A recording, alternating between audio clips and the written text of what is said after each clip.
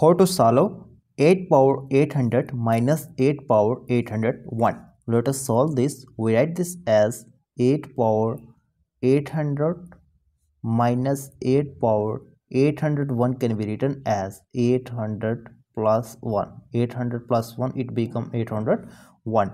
No, on the next step we write this as 8 power 800 minus 8 power we know that if a power n plus m is equal to a power n times a power m here n is 800 and m is 1 now we apply this we get 8 power 800 times 8 power 1 now on the next step we get 8 power 800 minus 8 power 800 times 8 now from this we take out 8 power 800 from this term and from this term we get 8 power 800 no remaining here 1 minus 8 now we get 8 power 800 and 1 minus 8 it become minus 7 no is equal to minus 7 times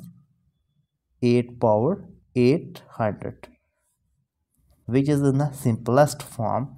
Thus 8 power 800 minus 8 power 801 is equal to minus 7 times 8 power 800 now we further simplify it as minus 7 times 8 can be written as 2 power 3 times 800 is equal to minus 7 times 2 power 3 times 0 0 3 times 0 0 and 3 times 8 um, 24 thus it is equal to minus 7 times 2 power 2400 which is for tutorial problems. If you are new here please subscribe channel for more informative videos. See you in the next video. Till then bye